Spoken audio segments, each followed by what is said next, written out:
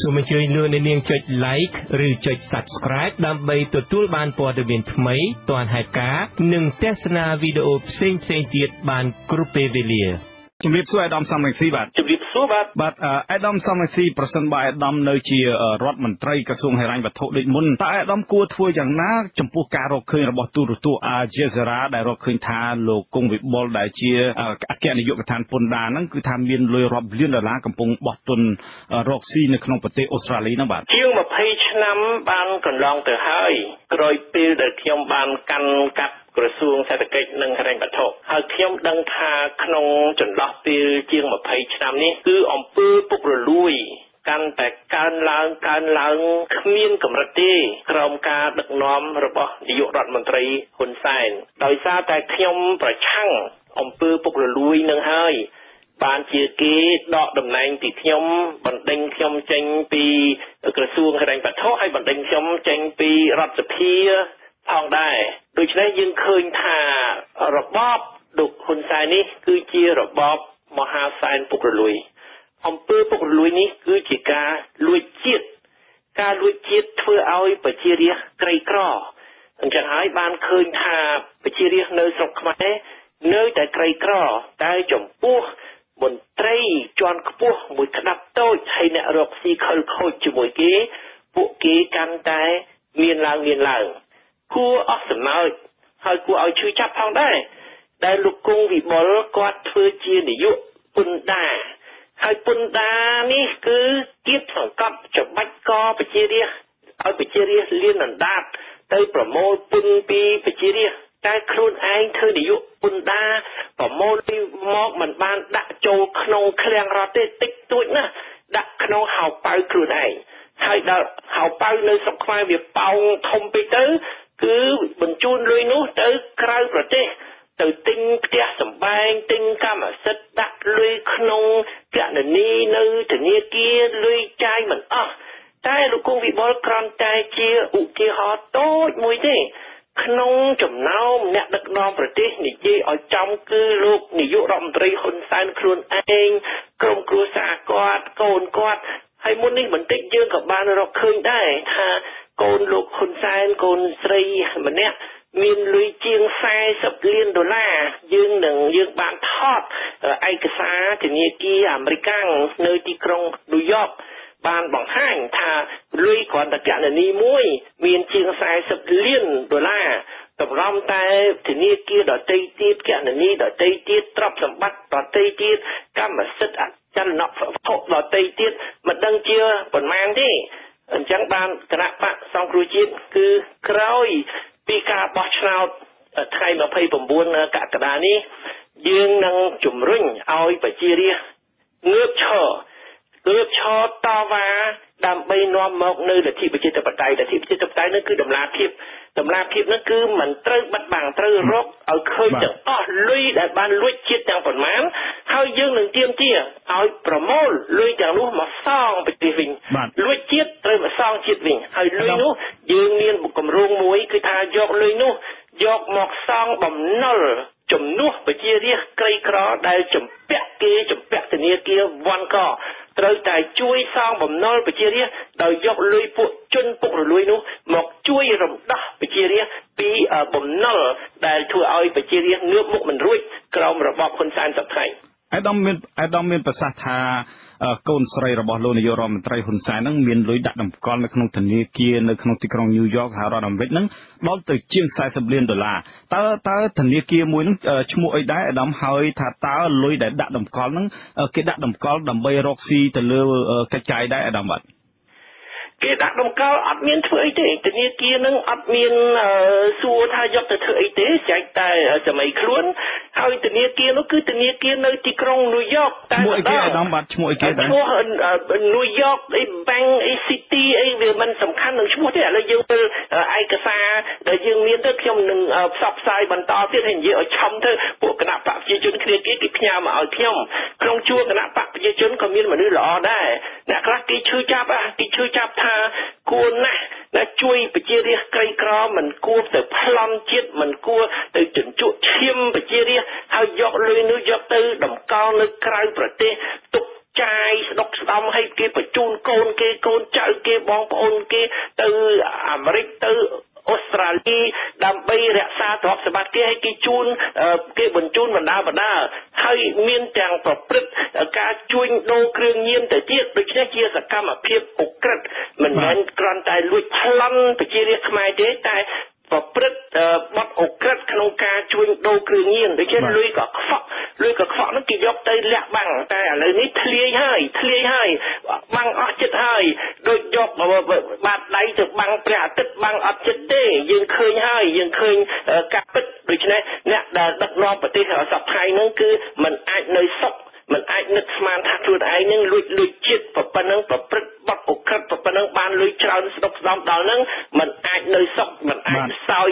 សុខបានទេបាទអាដាមមានកម្រងធ្វើយ៉ាងណាដែរបន្ទាប់ពីអាដាមបានរកឃើញថាមានលុយជាង40លានដាក់តម្កល់នៅដុល្លារនៅ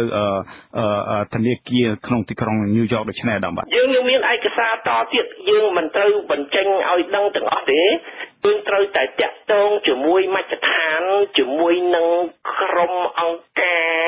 ដែលគេមានជំនាញជំនាញខាងការតាមដានស្រាវជ្រាវអំពើពុករលួយយកទៅលាក់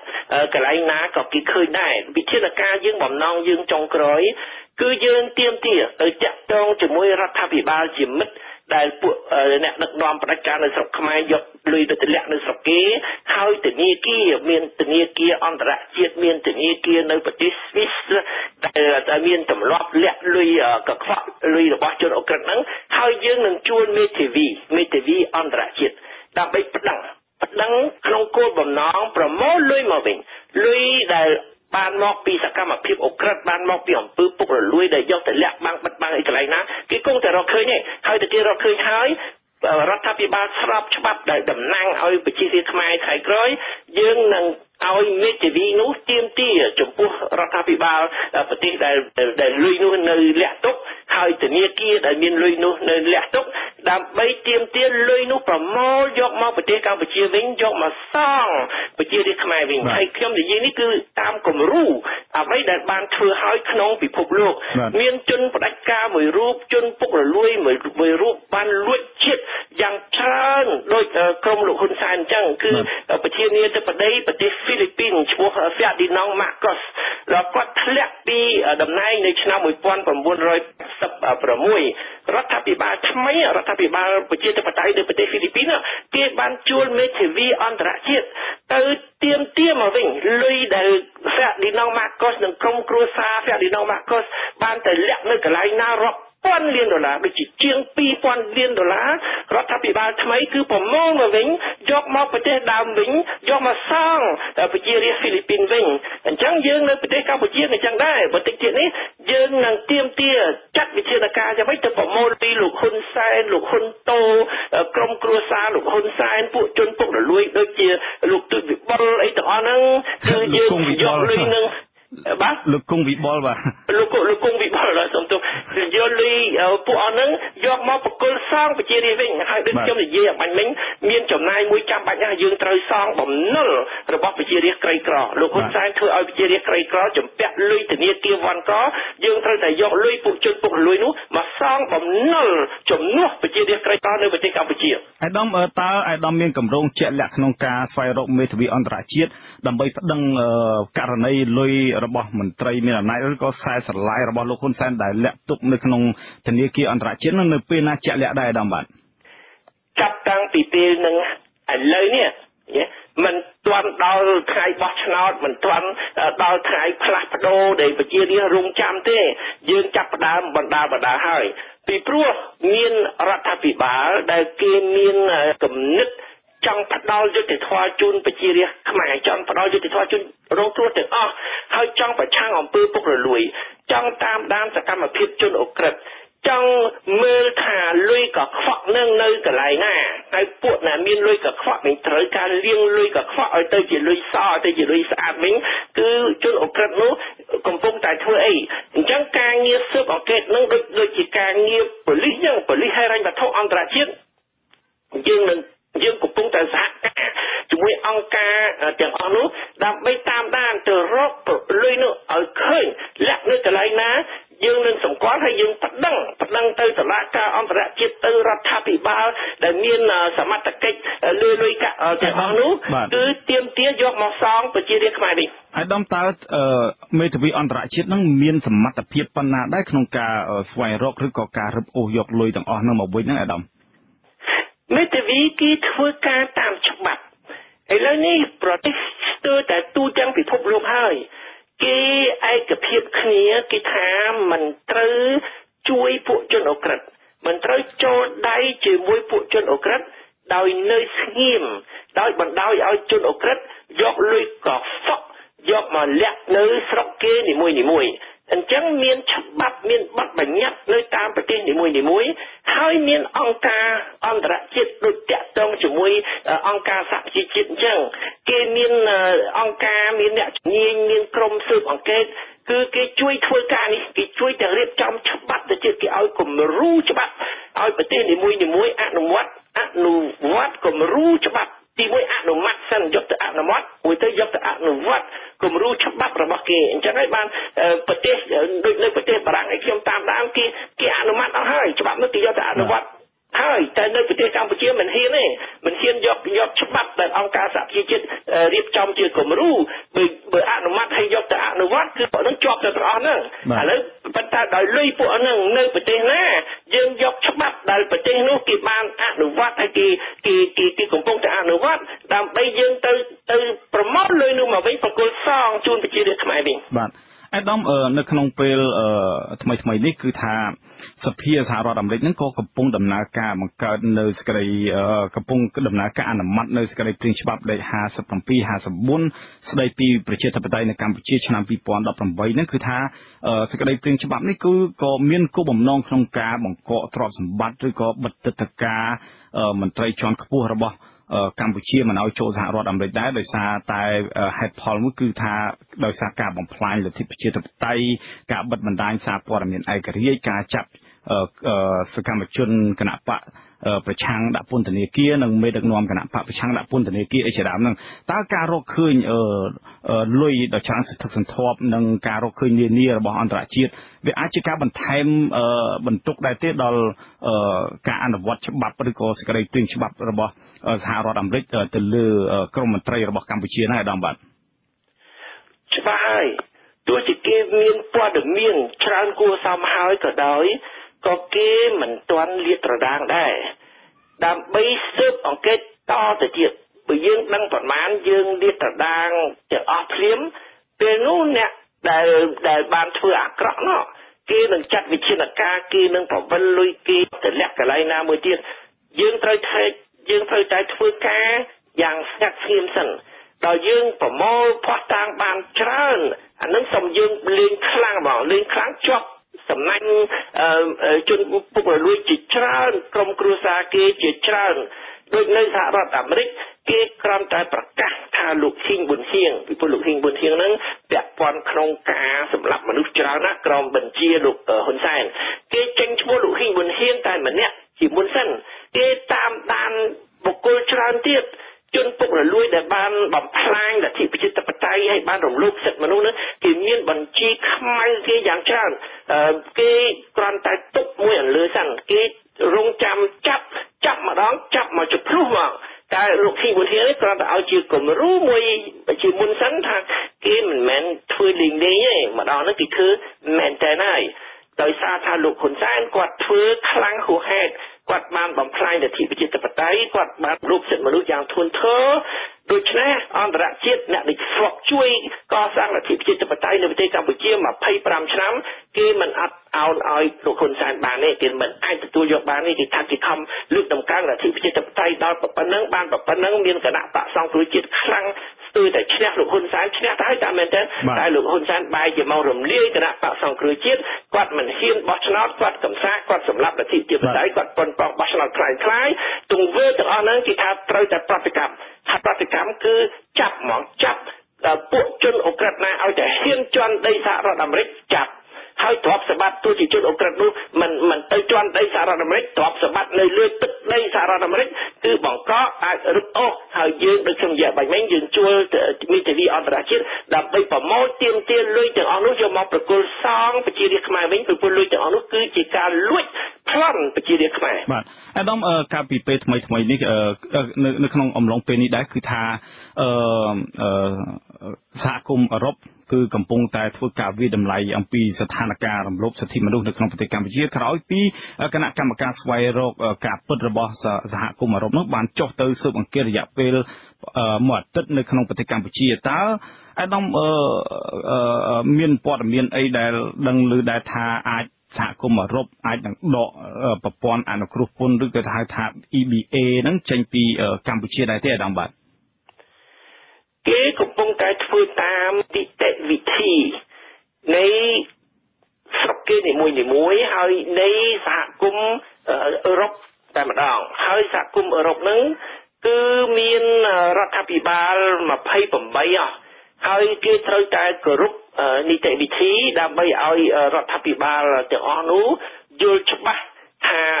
មានបញ្ហាអ្វីខ្លះនៅប្រទេសកម្ពុជាគេដឹងគេដឹងច្រើនហើយប៉ុន្តែគេមុននឹងធ្វើសេចក្តីសម្រេចគេចង់ទៅឃើញផ្ទាល់ភ្នែកហើយគេចង់ទៅស្ដាប់ផ្ទាល់ត្រចៀករបស់គេថាអ្នកដឹកនាំប្រទេសកម្ពុជាអាចឆ្លើយអាចបញ្យលអាចដោះសារយ៉ាងម៉េចហើយដែលគេបានទៅទស្សនកិច្ចទៅបានទៅស៊ើបសួរទៅសាកសួរមេដឹកនាំប្រទេសកម្ពុជាអស់រយៈពេលមួយអាទិត្យហ្នឹងទើបតែចប់ប្រហែលថ្ងៃហ្នឹង ឥឡូវនេះគេវិលត្រឡប់មកវិញគេកំពុងធ្វើរបាយការណ៍របាយការណ៍នោះឲ្យដើម្បីបង្ហាញថាអូចម្លើយពួកមេដឹកនាំផ្ដាច់ការពុករលួយនៅប្រទេសកម្ពុជានឹងចម្លើយនឹងតើទទួលយកបានហើយបើមិនទទួលយកបានទេត្រូវតែចាត់វិធានការគេកំពុងតែធ្វើកិច្ចការនឹងខ្ញុំមិននិយាយជំនួសគេបានទេតែខ្ញុំដឹងថាមានអ្នកតំណាងរាស្ត្រសហ ភាពអឺរ៉ុប18រូបច្រើនប្រទេសច្រើនគណៈបកនយោបាយគេឯកភាពគ្នាគេបានស្នើ គេបានទៀមទាផងនិយាយចំពីពួកតំណាងរាស្ត្រស្រុកគេមានមានអំណាចបានទៀមទាឲ្យរបាយការណ៍នឹងរបាយការណ៍ក្រោយពីទស្សនកិច្ចនឹងឲ្យរបាយការណ៍នឹងផ្សព្វផ្សាយជាសាធារណៈមិនយកទៅលាក់បាំងខ្សឹបខ្ជិវគ្នាអីអត់ទេគឺផ្សព្វផ្សាយជាសាធារណៈឲ្យឲ្យទាំងអស់គ្នាឲ្យមហាជនបានដឹងយល់ទាំងអស់គ្នាថានៅស្រុកខ្មែរនឹងវាផ្ដាច់ការដល់កម្រិតណាហើយវាពុករលួយដល់កម្រិតណា ប៉ុន្តែដោយថារដ្ឋាភិបាលកម្ពុជាធ្លាប់បញ្ជូនមន្ត្រីរបស់ខ្លួនទៅប្រកាសប្រាប់ទៅសហគមន៍អឺរ៉ុបនិងសហគមន៍អន្តរជាតិផ្សេងៗថាអឺគណៈបកកណ្ដាលអំណាចបានជោគជ័យក្នុងការរំលាយគណៈបកសង្គ្រោះជាតិនឹងគឺថាដោយសារមានការបញ្ជាសង្គ្រាមហើយដើម្បីរក្សានៅស្ថិរភាព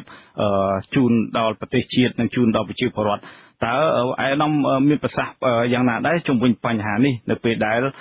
សហគមន៍អឺរ៉ុប មកវិតម្លៃហើយរដ្ឋាភិបាលលោកហ៊ុនសែននៅតែនិយាយអំពីការដែលលើកឡើងអំពីមោទនភាពក្នុងការរំលាយគណៈបកសង្គ្រោះជាតិនឹងបាទភាសាដែលលោកហ៊ុនសែននិយាយហ្នឹងគឺជាភាសាដូចថាមនុស្សអវិជ្ជាពីព្រោះនិយាយភាសាហ្នឹងគេគេគេមើលងាយគេអត់គេអត់គេអត់យកចិត្តទុកដាក់ទេគេតាំងមកហើយនិយាយដូចមនុស្ស ព្រៃផ្សៃ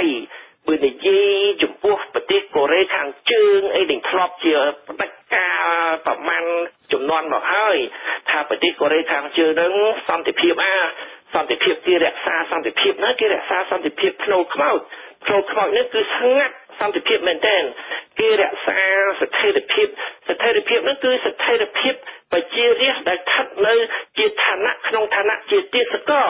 ទេសកលទៅគេដាក់ គុកគេដាក់ចង្វាក់គេសម្លុតគេបំបិតមាត់គេចងមាត់គឺស្ងាត់ជ្រាបស្ថិរភាពល្អណាស់ប៉ុន្តែបើសន្តិភាពហើយស្ថិរភាពដូចផ្លូវខ្មោចដូចកន្លែងដែលគេឲ្យទេសកលដាក់គុកជាប់គុកជាប់ជាប់ច្បាក់សន្តិភាពនិងសេរីស្ថិរភាពបែបហ្នឹង គេថាអ្នកឯងអ្នកឯងនិយាយនេះភាសានឹងប្រៃផ្សាយគេអត់ទទួលយកទេហើយម្យ៉ាងទៀតគេឃើញថាការបោះឆ្នោតនៅប្រទេសម៉ាឡេស៊ីលោកហ៊ុនសែនតែងតែនិយាយថាបើគណៈបកសង្គ្រោះជាតិឈ្នះឆ្នោតគណៈបកឆាំងឈ្នះឆ្នោតប្រទេសកម្ពុជាច្បាស់ជាមានសង្គ្រាមឥឡូវមើលមើលប្រទេសម៉ាឡេស៊ីដែលគណៈបកប្រឆាំងឈ្នះឆ្នោតមានសង្គ្រាមឯណាឥឡូវនេះគេចាប់នាយករដ្ឋមន្ត្រីដែលកាន់អំណាចយូរឆ្នាំដល់មកហើយគណៈបកគាត់កាន់អំណាច60ឆ្នាំច្រើនជាងគណៈបកប្រជាជនទៀតឥឡូវនាយករដ្ឋមន្ត្រី នៅប្រទេសម៉ាឡេស៊ីក្រោយពីគាត់ចាញ់ឆ្នោតគឺគាត់ជាប់គុកហើយប្រជារាស្ត្រម៉ាឡេស៊ីអបអរសាទរជ័យជំនះគណៈបកប្រឆាំងមិនយូរទេប្រទេសកម្ពុជាក៏ដូចម៉ាឡេស៊ីអញ្ចឹងដែរក្នុងពេលឆាប់ឆាប់ខាងមុខបាទអាដាមសំណួរចុងក្រោយរបស់ខ្ញុំមួយទៀតគឺថាងាកមករឿងដាច់ដライវិញគឺថា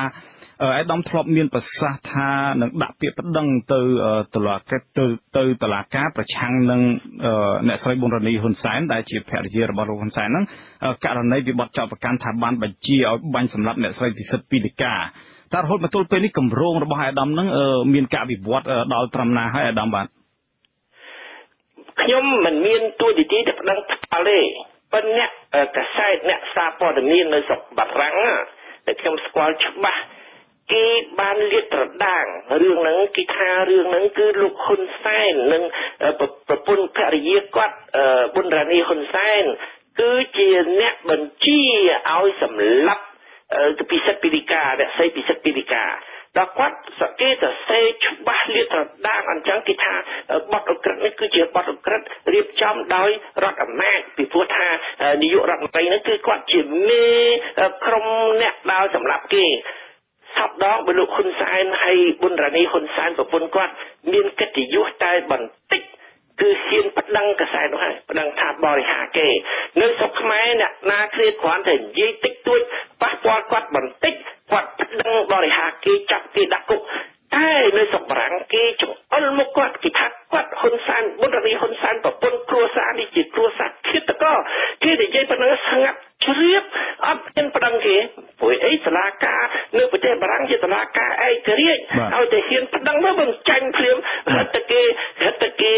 ទទួលស្គាល់ហេតុតែគេចោទប្រកាន់ហេតុតែគេមើលងាយហ៊ុនសែននេះប្រពន្ធគាត់ថាជាជនអូក្រិតនេះហើយសាក់ ភ័ស្តុតាងដែលជាក់ស្ដែងជាងគេ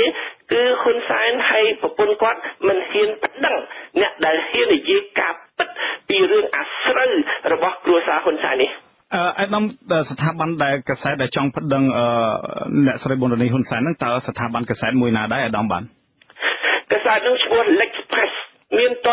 មានដល់សប្តាហ៍ណាកសែត Lexpress ហើយអឺ អត់ហ៊ានអត់ហ៊ានប្តឹងទេគេគេឆ្ងល់គេឆ្ងល់គ្រប់គ្នាហើយហេតុអីបានមិនមិនមិនហ៊ានប្តឹងគេនិយាយប៉ះពាល់ដល់ប៉ុណ្ណឹងស្រាប់ជ្រាបមានន័យថាលិះខ្លួនមានន័យថាតែប្តឹងនៅចំពោះមុខតុលាការអន្តរតុលាការឯករាជ្យដូចនៅប្រទេសបារាំងគឺចាញ់ចាញ់ហ្នឹងគឺអាម៉ាស់មកជាន់ទៀតបាទបាទ អាដាមចុងក្រោយដល់ខ្លីមួយទៀតចំពោះពាក្យបណ្ដឹងរបស់អាដាមដែលធ្លាប់ដាក់ប្តឹងនៅតុលាការក្រុងញូវយ៉កវិញតើពាក់ព័ន្ធទៅនឹងករណីបោកគ្រាប់បែកវិញតើអាដាមមាន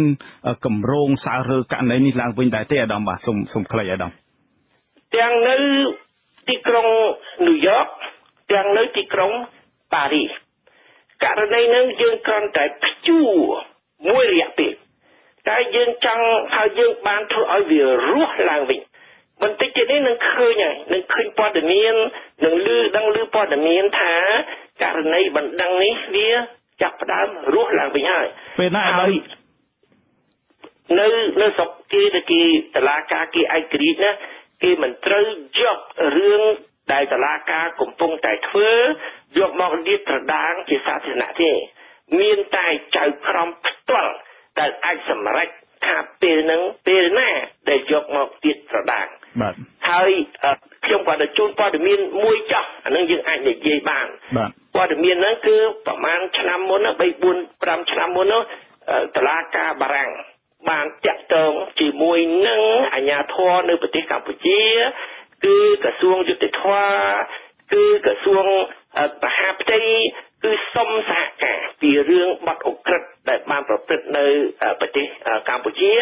តែពួកនោះអត់ឆ្លើយទាំងក្រសួងយុតិធម៌ទាំងក្រសួងមហាផ្ទៃគឺអត់ឆ្លើយឆ្លើយតបទៅនឹងសំណើរបស់តុលាការបារាំងដែលសុំឲ្យមានសហការសហការគឺគេដឹងគេគ្រាន់តែចង់ទៅបញ្ជាក់ដូចដូចគណៈប្រតិភូសហភាពអឺរ៉ុប ទៅប្រទេសកម្ពុជាថ្មីថ្មីនេះគេចង់បញ្ជូនបញ្ជូនអ្នកក្រុមគេម្នាក់ក្រុមជំនាញគេម្នាក់មកផ្ទៀងផ្ទាត់ឯកសារផ្ោះតាងខ្លះតែអត់ហ៊ានទទួលគណៈប្រតិភូពីប្រទេសបារាំងហ្នឹងតែរឿងនេះមិនមែនចាប់ចាប់ត្រឹមហ្នឹងទេខ្លួនឯងមិនព្រមទទួលគេមាននីតិវិធីអីផ្សេងទៀតខ្ញុំមិនចង់និយាយច្រើនទេរឿងនេះយើងមិនទាន់បានសម្រេច អឺពេញលេញយើងមិនត្រូវនិយាយមុនទេបើយើងនិយាយមុនវាខូចការអញ្ចឹងឲ្យតឡាការសុកបារាំងឬគឺជាតឡាការឯករាជ្យគេដំណើរការទៅគាត់ទៅថាអឺមិនមែនជារឿងធម្មតាទេឥឡូវនេះគឺក្នុងពិភពលោកទាំងមូលអ្នកដែលចង់ស្វែងរកយុត្តិធម៌ជូនប្រជារាស្ត្រខ្មែរគឺគឺកំពុងសហការគេកំពុងតែសហការគ្នាយើងឃើញម្ដងឃើញព័ត៌មានពីអាមេរិកម្ដងឃើញព័ត៌មានពីអូស្ត្រាលីតិចទៀតនោះអាចមានព័ត៌មានពីប្រទេសបារាំងគឺគោលដៅតែមួយទេគឺ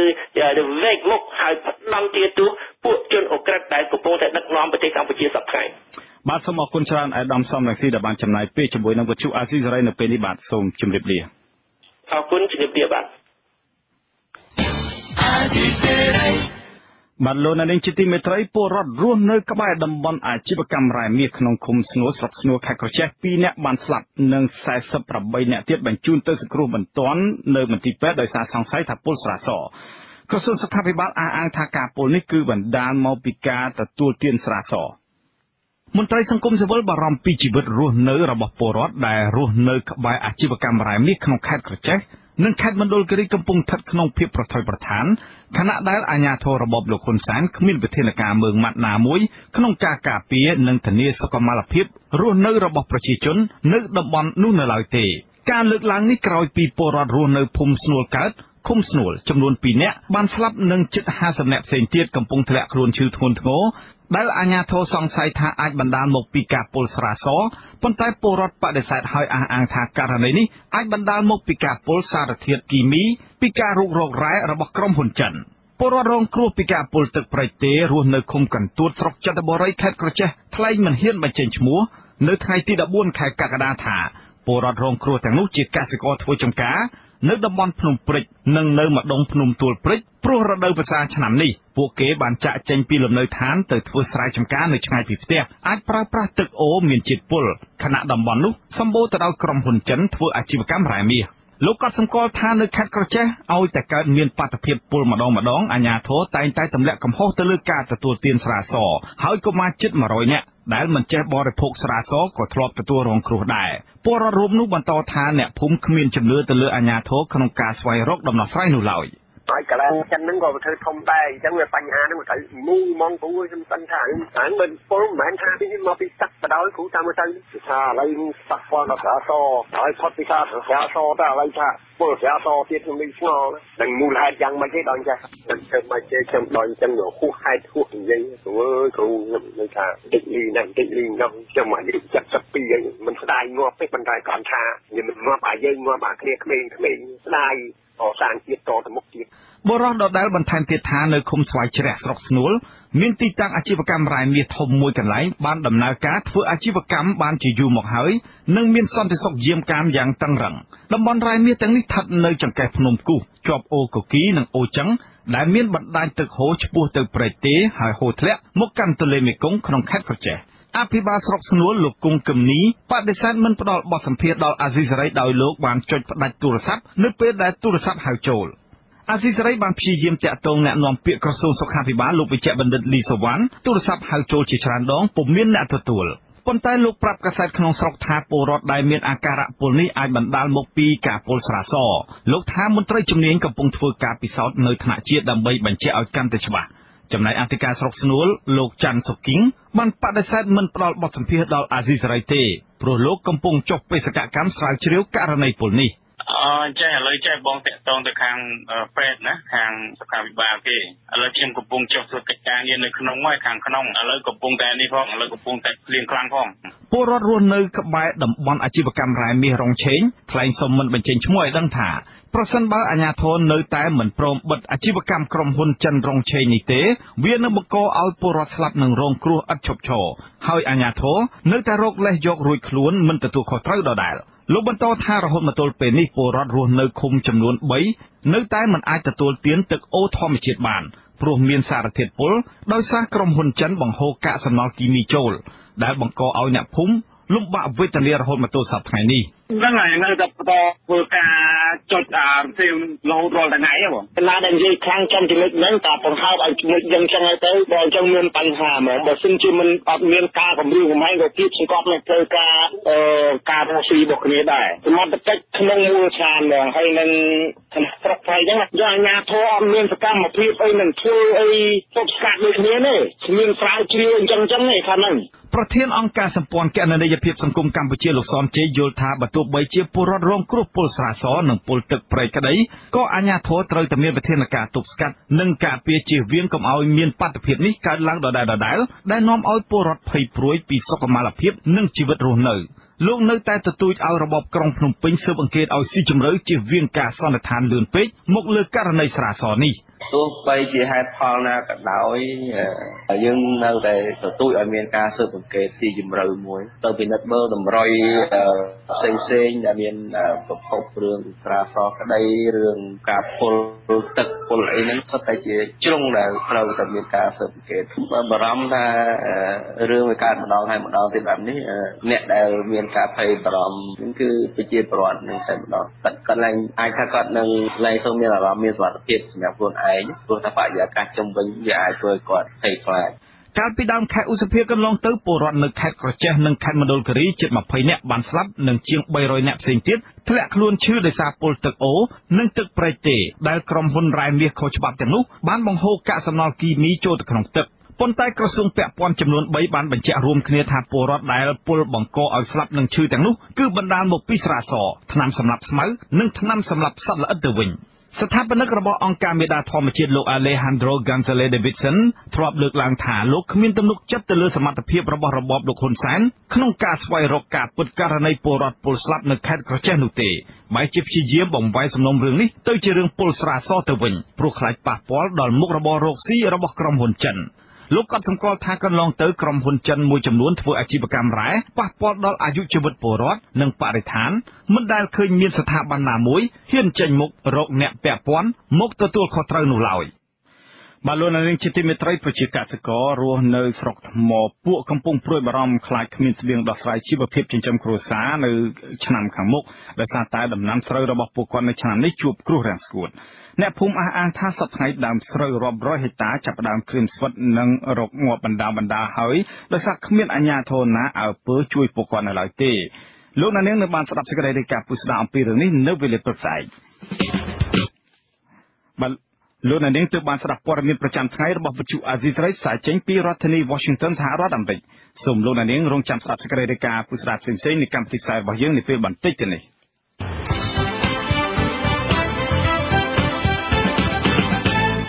បាទលោកនាងជាទីមេត្រីនៅក្នុងការផ្សាយរបស់យើងជាបន្តទៅទៀតនេះយើងខ្ញុំមានសេចក្តីរាយការណ៍ពុស្ដាស្ដីអំពីប្រវត្តិសង្ខេបរបស់នាយឧត្តមសេនីយ៍ម្នាក់នៃរបបលោកហ៊ុនសែនដែលមានបាតដៃកខ្វក់ខាងការធ្វើទរណកម្មសូមលោកនាងស្ដាប់សេចក្តីរាយការណ៍ពុស្ដាទាំងនេះជាបន្តទៅទៀតដោយមេត្រី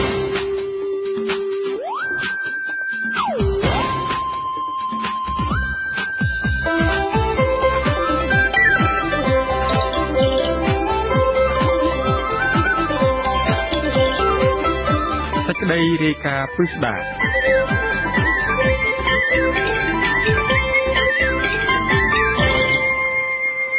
បាទអង្គការឃ្លាំមើលសិទ្ធិមនុស្សអន្តរជាតិ Human Rights Watch បានរកឃើញថានាយឧត្តមសេនីយ៍ម្នាក់ក្នុងចំណោមនាយឧត្តមសេនីយ៍ចំនួន12រូបទៀតនៃរបបលោកហ៊ុនសែនមានប្រវត្តិអាក្រក់ខាងការធ្វើទរណកម្មអ្នកទោសនិងការរៀបចំជាប្រព័ន្ធដើម្បីឲ្យមានអំពើហិង្សាផ្នែកនយោបាយតើបុគ្គលរូបនោះជានរណា លោកនេតសាវឿនអគ្គស្នងការនគរបាលជាតិជានាយឧត្តមសេនីយ៍ម្នាក់ស្ថិតក្នុងចំណោមនាយឧត្តមសេនីយ៍ចំនួន12រូបផ្សេងទៀតមានប្រវត្តិបាត់ដៃកខ្វក់ខាងការធ្វើទរណកម្មជនសង្ស័យនិងការបាញ់សម្លាប់ក្រុមអ្នកតវ៉ាដោយសន្តិវិធី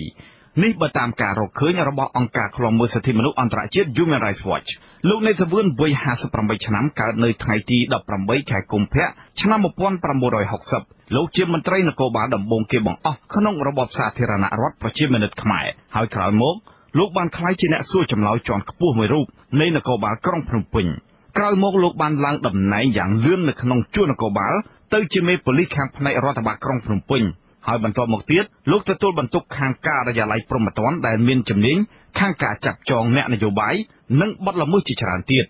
កាលពីឆ្នាំ1984លោកនេតសាវឿនជាមនុស្សដែលល្បីល្បាញខាងការសួរចម្លើយជនសង្ស័យ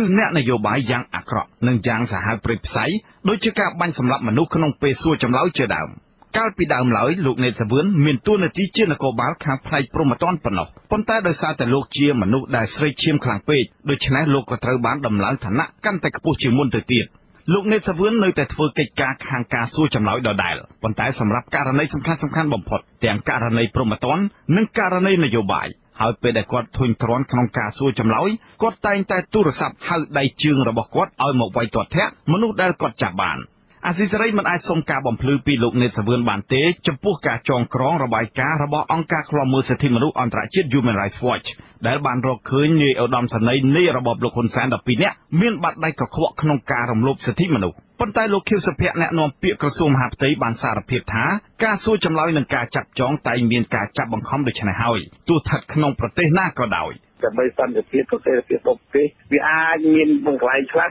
ការកំណត់អីខាងនោះដែរវាមិនមែនទាំងសពណាទេប៉ូលីសទៅបីទៅប៉ូលីសអាមេរិកគឺគេចាប់ទៅគេចាប់ស្ទើរតែកាប់បុកធាក់ក្នុងជាងយើងយើងទៅទៀតក៏យើងប្របន្នប៉ុណ្ណឹងវាមិនទាន់ដល់ប្រហែលប៉ូលីសអាមេរិកទេអូនអើយ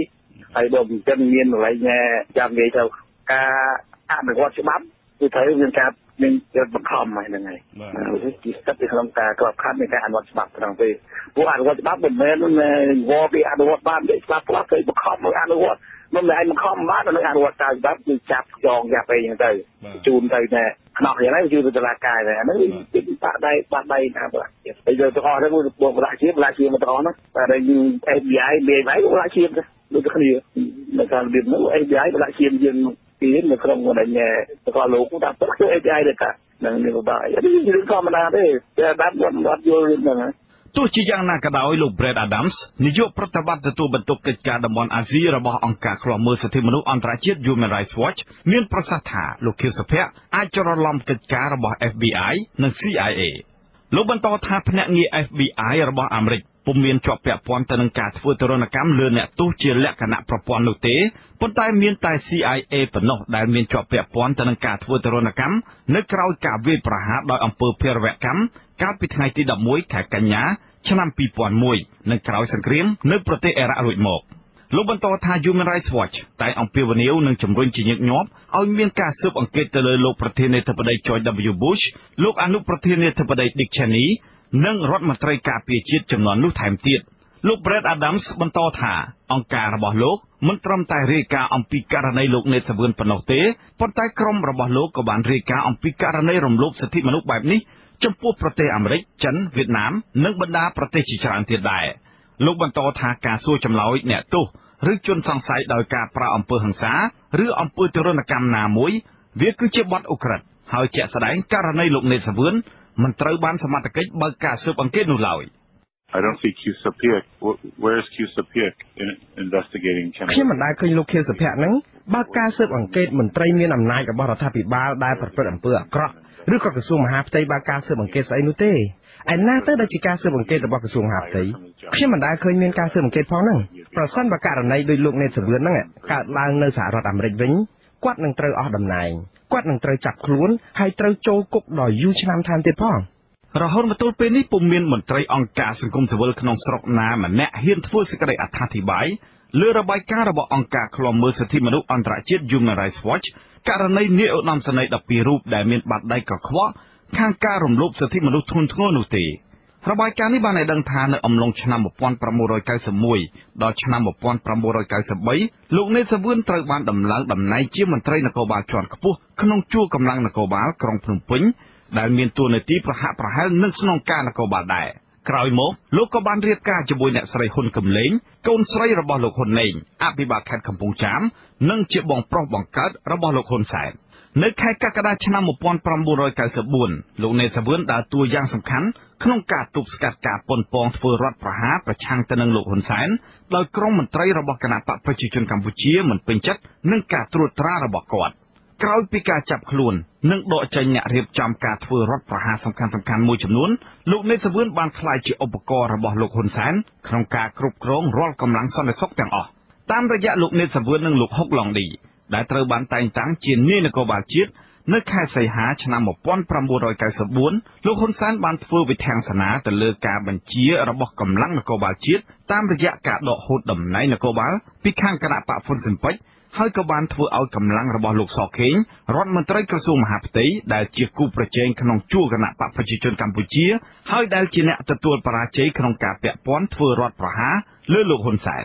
អង្គការឃ្លាំមើលសិទ្ធិមនុស្សអន្តរជាតិ Human Rights Watch ឲ្យដឹងថាទាំងលោកនេតសាវឿននិងលោកហុកឡុងឌីជាអ្នករៀបចំឲ្យមានឃាតកម្មផ្នែកនយោបាយដូចជាការចាប់ជំរិតនិងអំពើហិង្សាផ្នែកនយោបាយទៅលើសហជីពប្រព័ន្ធផ្សព្វផ្សាយនិងក្រុមអ្នករិះគន់លោកហ៊ុនសែនដទៃទៀត ជាងនេះទៅទៀត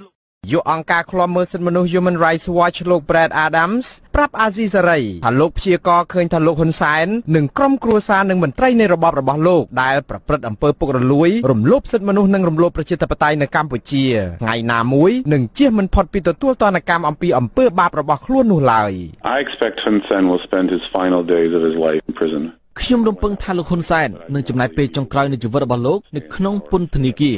ខ្ញុំមិនដឹងថាវានឹងកាត់ឡើងនៅពេលណានោះទេក៏ប៉ុន្តែខ្ញុំមិនជឿថាលោកហ៊ុនសែនជាមនុស្សអមតៈដែលអាចនឹងក្រៃអំណាចអស់មួយជីវិតនៅឡើយថ្ងៃណាមួយគាត់នឹងធ្លាក់ចេញពីអំណាចពេលនោះហើយដែលប្រជាពលរដ្ឋខ្មែរទាមទារគេកាត់ទោសគាត់ចំពោះអ ுக ្រិតកម្មដែលគាត់បានប្រព្រឹត្តដូចជាការរំលោភសិទ្ធិមនុស្សនិងអំពើពុករលួយក្នុងចំណោមអ ுக ្រិតកម្មដទៃទៀតច្រើនរាប់មិនអស់ខ្ញុំមិនអាចនិយាយបានទេថាតើវានឹងកាត់ឡើងនៅពេលណានោះទេ But I can't tell you when that's going to happen. បើទោះបីជាលោក Brad Adams មិនអាចនិយាយបានថាលោកហ៊ុនសែននឹងទទួលទណ្ឌកម្មនៅពេលណានៅឡើយក្តីក៏លោកបានបញ្ជាក់ថាតាមពិតលោកហ៊ុនសែនត្រូវអស់អំណាចនិងប្រឈមការទទួលទោសតាំងតែពីឆ្នាំ1993មកម្លេះកាលនោះគណៈបកប្រជាជនកម្ពុជា ចាញ់ឆ្នោតទៅខាងគណៈបកហ៊ុនស៊ិនពេជ្រក៏ប៉ុន្តែលោកហ៊ុនសែនបានយកលេសនៃការបង្កើតតំបន់អបគមคล้ายៗដើម្បីកម្លាអង្គការសហប្រជាជាតិឲ្យយល់ព្រមផ្ដល់តំណែងជាសហនាយករដ្ឋមន្ត្រីឲ្យលោក លោក Brad Adams បន្តទៀតថាលោកហ៊ុនសែនប៊ីសតែនឹងរងការថ្កោលទោសម្ដងទៀតកាលពីឆ្នាំ1998នៅក្នុងការបោះឆ្នោតជាតិកាលនោះដែលគណៈបកប្រជាជនកម្ពុជាអាចប្រហែលជាចាញ់ឆ្នោតទៀតក៏ប៉ុន្តែដោយការលួចបន្លំទើបអាចឲ្យលោកហ៊ុនសែននៅបន្តក្រាញអំណាចបានដដែលកាលនោះក៏មានការតវ៉ាពីពលរដ្ឋខ្មែរគ្រប់ទិសទីលោកថាបើតាមរបាយការណ៍បង្ហាញថានៅក្នុងជួរគណៈបកប្រជាជនកម្ពុជានៅពេលនោះ ក៏ចង់ដកលោកហ៊ុនសែនចេញ ដើម្បីដាក់ឲ្យទទួលទោសឬក៏និរទេសខ្លួនដែរក៏ប៉ុន្តែសំណាងល្អលោកហ៊ុនសែននៅតែបន្តអាចក្រាញអំណាចបានមួយអាណត្តិទៀតលោក Brad Adams បញ្ជាក់ទៀតថារហូតដល់ការបោះឆ្នោតឆ្នាំ2013 លោកហ៊ុនសែនប្រហែលជាចាញ់ឆ្នោតទៅខាងគណៈបកសង្គ្រោះជាតិប្រសិនបើការរាប់សន្លឹកឆ្នោតធ្វើបានត្រឹមត្រូវនិងក៏មានការលួចបន្លំក្រោយការបោះឆ្នោតឆ្នាំ2013នោះប្រជាពលរដ្ឋរហូតដល់លានអ្នកបានក្រោកតវ៉ាប្រឆាំងទៅនឹងលទ្ធផលបោះឆ្នោតនោះដែរ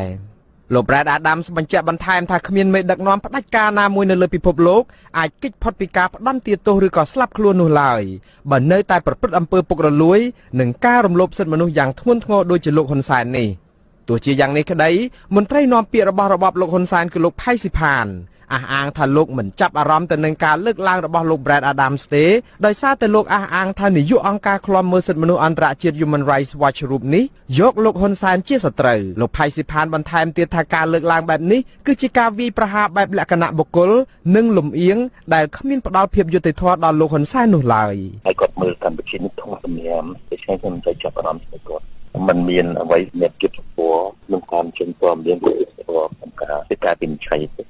កម្ពុជាលោកផៃស៊ីផាន ការពារលោកហ៊ុនសែនថាជាបុគ្គលស្អាតស្អំដោយលោកយោងទៅលើប្រសាសន៍លោកនាយរដ្ឋមន្ត្រីហ៊ុនសែនដែលធ្លាប់អួតអាងថាលោកគ្មានទ្រព្យធនពីអំពើពុករលួយនោះទេព្រោះទ្រព្យរបស់លោកគឺមានតែនៅក្នុងសាលារៀនវត្តអារាមអណ្ដូងទឹកឬក៏ប្រឡាយទឹកប៉ុណ្ណោះ លោកហ៊ុនសែនកាលជួបកម្មកររោងចក្រកាត់ដេរនៅកោះពេជ្រកាលពីខែធ្នូឆ្នាំ2017ធ្លាប់ថ្លែងឌឺដាក់អន្តរជាតិដែលចង់ដាក់ទណ្ឌកម្មលើលោកនិងមន្ត្រីរបស់លោកតាក់ទងទៅនឹងការបង្កកទ្រព្យសម្បត្តិថាគាត់គ្មានទ្រព្យស្ដុកស្ដំឯណាដោយគេចោទនោះទេទេបកបកទៅយកទៅអ្នកឯងចង់ឆក់ប្លន់ទ្រព្យសម្បត្តិក៏ថក់ទៅយកទៅហើយអ្នកណាភ្លឺយកលុយទៅទុកនៅក្រៅប្រទេសគេមានយកទៅខ្ញុំលើកទឹកចិត្តឲ្យគេយកទៅទៀត កុំឲ្យខ្មែរប្រកែយកលុយទៅផ្ញើរបស់ប្រទេសហោះខ្ញុំសុកចិត្តផ្ញើនឹងសាលារៀនឲ្យក្មួយក្មួយរៀនឲ្យផ្ញើនៅវត្តអារាមឲ្យចាស់ចាស់សំសិលឲ្យបើទោះបីជាលោកហ៊ុនសែនអះអាងថាលោកគ្មានទ្រព្យសម្បត្តិស្ដុកស្ដំក្តីនៅក្នុងឋានៈជានាយករដ្ឋមន្ត្រីដែលមានប្រាក់ខែត្រឹមតែជាង1000ដុល្លារនោះលោកមានទ្រព្យដើរចែកចាយនឹងសង់ផ្លូវឬក៏សាលារៀនដាក់ឈ្មោះរូបលោកស្ទើរពេញផ្ទៃប្រទេស ម្យ៉ាងទៀតកាលពីខែមេសាកន្លងទៅនេះលោកបានឡើងគេហដ្ឋានថ្មីដ៏ធំស្កឹមស្កៃនៅទួលកសាំងក្រុងតាខ្មៅបើតាមរបាយការណ៍អង្គការឃ្លាំមើលពិភពលោក Global Witness ចេញផ្សាយកាលពីខែកក្កដាឆ្នាំ2016បានរកឃើញនៅទ្រព្យសម្បត្តិយ៉ាងស្ដុកស្ដំក្នុងគ្រួសារត្រកូលហ៊ុនដែលបានមកពីអំពើពុករលួយនិងការកេងប្រវ័ញ្ចពីប្រជាពលរដ្ឋខ្មែរ អង្គការនេះរកឃើញថាលោកហ៊ុនសែនគ្មានប្រាក់ចំណូលអ្វីក្រៅពីប្រាក់ខែជាង1000ដុល្លារក្នុងមួយខែនោះទេក៏ប៉ុន្តែក្រុមគ្រួសារត្រកូលហ៊ុនមានក្រុមហ៊ុនជាច្រើនដែលមានទុនលើសពី200លានដុល្លារ ការលើកឡើងរបស់លោក Brad Adams អំពីជោគវាសនារបស់លោកនាយរដ្ឋមន្ត្រីហ៊ុនសែនគឺស្របគ្នាទៅនឹងព្រឹត្តិការណ៍ចាប់ខ្លួនអតីតប្រធានាធិបតីម៉ាឡេស៊ីលោក Najib Razak ដែលត្រូវបានអាជ្ញាធរម៉ាឡេស៊ីចាប់ខ្លួននៅថ្ងៃទី3ខែកក្កដានេះពីបទជាប់ពាក់ព័ន្ធទៅនឹងអំពើពុករលួយដែលមានទឹកប្រាក់រហូតដល់ជាង4.5000លានដុល្លារ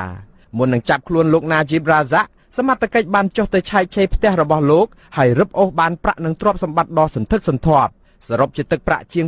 225លានដុល្លារគ្រាន់តែកាបូបយួរដៃម៉ាក់ល្បីរបស់ភរិយារបស់លោក Najib Razak មានទឹកប្រាក់រហូតដល់ប្រហែលជា12លានដុល្លារការឆែកឆេរនឹងឈានដល់ការចាប់ខ្លួនលោក Najib Razak នេះគឺនៅក្រៅគណៈបកកាន់អំណាចរបស់លោកចាញ់ឆ្នោតកាលពីខែឧសភា លោក Brad Adams អះអាងថាលោកហ៊ុនសែនដឹងច្បាស់ខ្លួនលោកហើយថារយៈពេលកាន់អំណាចជាង33ឆ្នាំមកនេះលោកបានប្រព្រឹត្តអំពើពុករលួយជាច្រើន ដែលធ្វើឲ្យលោកហ៊ុនសែនសពថ្ងៃក្លាយជាសេដ្ឋីមានទ្រព្យមហាសាលមនុស្សនៅជំវិញលោកក៏ក្លាយជាសេដ្ឋីច្រើនណាស់ដែរមិនតែប៉ុណ្ណោះលោកហ៊ុនសែនដឹងថាលោកពិតជាបានប្រព្រឹត្តអំពើរំលោភសិទ្ធិមនុស្សរាប់មិនអស់ រួមមានការសម្លាប់មនុស្សក្រៅប្រព័ន្ធច្បាប់និងការបញ្ជាឲ្យប៉ូលីសនិងទាហានវាយដំនិងធ្វើបាបអ្នកតវ៉ានិងការបញ្ជាឲ្យចាប់មនុស្សជាច្រើនផ្សេងទៀតដោយសារតែអ្វីកំពុងតែកើតមានឡើងនៅប្រទេសម៉ាឡេស៊ីនេះទើបលោក Brad Adams យល់ថាលោកហ៊ុនសែននឹងរឹតតែបង្ហាញពីភាពខុសខើដើម្បីបន្តក្រាញអំណាចតទៅទៀតរហូតស្លាប់ខ្លួនទោះជាយ៉ាងនេះក្តីលោក Brad Adams យល់ថាអ្វីដែលកើតឡើងនៅប្រទេសម៉ាឡេស៊ីគឺជាមេរៀនសម្រាប់មន្ត្រីបកកាន់អំណាចឲ្យភ្ញាក់រលឹក ងាកមករកកន្លងប្រជាធិបតេយ្យវិញដើម្បីរៀបចំឲ្យមានការបោះឆ្នោតដោយសេរីត្រឹមត្រូវនិងយុត្តិធម៌ដើម្បីឲ្យមានការចូលរួមពីគ្រប់ភាគីបើសិនជាមន្ត្រីបកកណ្ដាលអំណាចមិនចង់ជួបរឿងអកុសលបែបនេះនោះទេក៏ប៉ុន្តែលោក Brad Adams ថាការបោះឆ្នោតនៅថ្ងៃទី29ខែកក្កដាខាងមុខនេះគឺជាឆាកល្ខោននយោបាយដើម្បីបន្លំភ្នែកតែប៉ុណ្ណោះ មិនមែនជាការបោះឆ្នោត ដែលសេរីត្រឹមត្រូវនឹងយុត្តិធម៌ដែលទទួលយកបានពីប្រជាពលរដ្ឋខ្មែរនិងសហគមន៍អន្តរជាតិនោះឡើយខ្ញុំបាទមួងណារ៉េតអាស៊ីសេរីពីរដ្ឋធានី Washington